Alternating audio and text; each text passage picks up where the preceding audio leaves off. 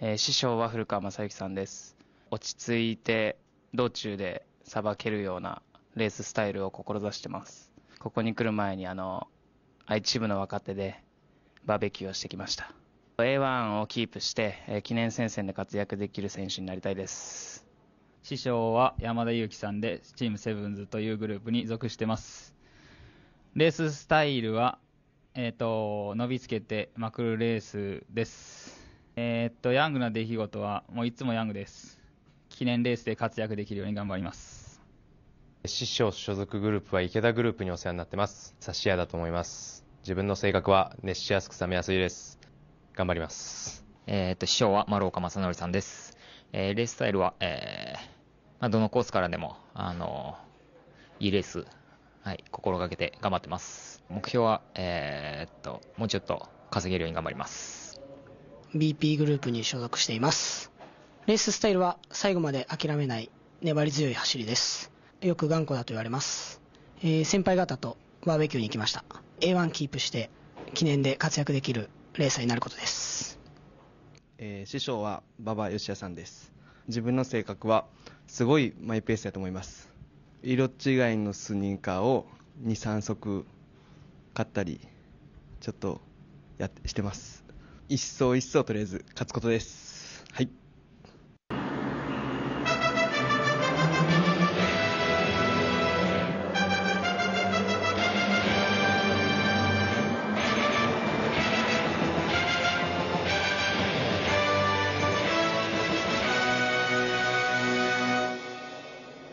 本番ではピット離れが良かった6号艇木村正樹このままですとどうやら5コース進入となるか。優出切符をかけた激しい戦いも残すはあと1戦。ボートレース三国プレミアム G1 第6回ヤングダービー。シリーズ5日目の競争本日のラストカードです。3つ目の準優勝戦第12レースです。対戦メンバーは1号艇吉田雄平2号艇村岡健人3号艇磯部誠4号艇山崎軍5号艇今泉優吾6号艇木村正樹以上のメンバーです。インコースに構えていきます1号艇吉田雄平。G1 初出場フライング2本持ちも0台スタート決まって結果を残しての得点率トップで予選通過を決めました。1号艇吉田の陰線です。隣2コースは2号艇村岡健人。村岡2日目は2コースから白星を挙げています。今年2回目の G1 優出を目指します。3コースは3号艇磯部誠。昨日の陰線待望のシリーズ初白星を飾っています。引っ張っていきました。4号艇山崎軍が4コース。昨日の2走は2着2本でまとめて勝負がけ成功させています。本番では5コース6号艇木村正樹。6コースは5号艇今泉優吾。1号艇吉田雄平が人気の中心です。進入インコースから。1番2番3番。4番6番5番です。スタートしました。ほぼ横一線揃ったスタートを切っています。一周1マークまずはインから逃げ体勢1号艇吉田かつ2号艇村岡外行った3号艇磯部6号艇木村内からは5号艇今泉が続きます。外は1号艇吉田内は2号艇村岡2艇のトップ争い。3番手は単独3号艇磯部が上がって5号艇今泉4番手後方4号艇6号艇スタートは正常でした。1周にマーク内から2号艇村岡外行くか1号艇吉田内につくか。2号艇の村岡がここで振り切って2艇身のリードを取って単独先頭です。1号艇吉田は2番手内から迫るのは5号艇今泉。その後ろ3号艇の磯部4号艇山崎と続いて6号艇木村が最後方2周1マーク。2号艇村岡先頭内から5号艇今泉が先前内差し返す。1号艇吉田。2番手争いは1号艇吉田が2艇進前に出て単独2番手は上がっています。3番手は5号艇の今泉その後ろ3艇審査内迫る3号艇磯部後方4号艇山崎6号艇木村最後方2周2マークです。2号艇村岡先頭2番手は内から5号艇今泉が進んでいくか差し返す1号艇吉田2番手争いホームストレッチ。1号艇の吉田が再びリードを取って2艇進のリード単独2番手3番手は5号艇今泉その後ろ3艇審査内から迫る3号艇磯部で現在の上位体系第1号で最終周回に入ります。2番手争いが続く中5号艇今泉内もう一度差し返しを狙う1号艇の吉田ですがここで5号艇の今泉が逆転成功。3艇進のリードを取って単独2番手。3番手に交代は1号艇の吉田。現在の上位体系2番5番1番で最終ターンマークに向かいます。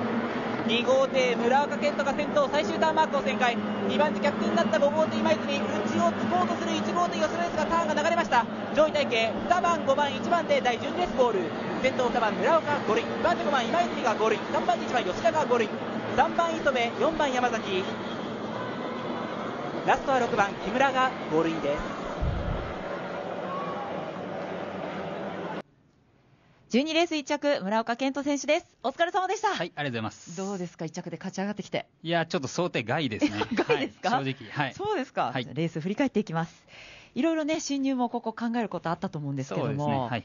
ピット離れも思ったほどあはい持ちましたはいうんなんで2コース、まあ、想定通りですね。そうですか、はい。スタート思い切っていきましたか？はい、行きました。はい。はい。大体一定進ぐらい。そうですね。うんもうこ感通り。はい。まあ、ちょっと遅いかなって感じですけど。はい。1マークは。もう良かったですね。